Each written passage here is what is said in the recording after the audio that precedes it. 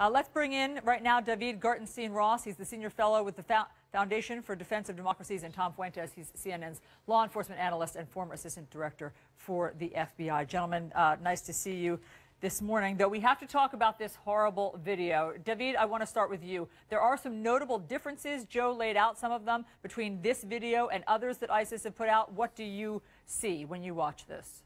I think the first major difference is that you don't see the beheading on camera. One reason for this may be that Kassig did something to disrupt the, cinematog- uh, the cinematic setting that ISIS wanted to uh, ob- obtain. Uh, they subjected James Foley to mock beheadings prior to his execution, in part because you only have one take to get the beheading right. And in this case, Kassig may have disrupted the take, which is why they don't actually show the beheading on camera. And Tom, uh, you also don't see uh, Kassig making any statement. We had seen those coerced statements before from the hostages. Not in this one. It is possible that Peter Kassig did something or refused to make a statement or said something that went off script from what ISIS wanted. How do you, what do you make of it? No, that's true, Alisyn. That could be that he was not as docile and cooperative as they would have liked. Also, he might have made statements that I've converted to be to Islam. I'm an aid worker. I'm helping, which is the very thing they don't want. They don't want Westerners coming in there and, and doing good things. They want to portray all Westerners as uh, deserving of death and uh, horrific death at that. Uh, David, this one also, I believe, gives a locator. It somehow is printed or stamped with a town in Syria. That's different, and that seems as though why would ISIS play its hand that way?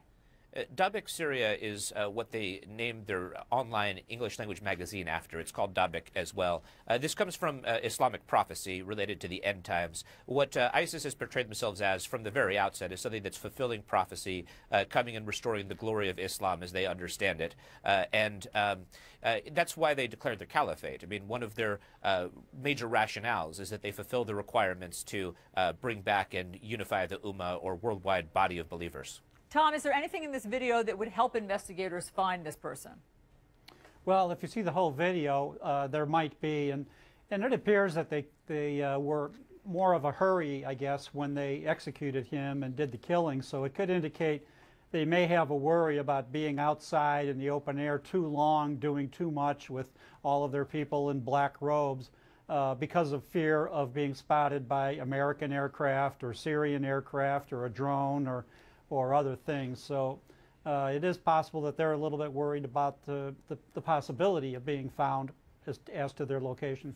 Uh, David, CNN has made a decision only to use those two still pictures that we are showing from the video, not to show uh, any of the video because it is so disgusting and so barbaric. And there's always a debate in the media, David, about whether or not talking about these videos is important to inform viewers about how barbaric ISIS is or whether or not it plays into ISIS's hands because it helps them disseminate their vile propaganda. Where do you fall on that?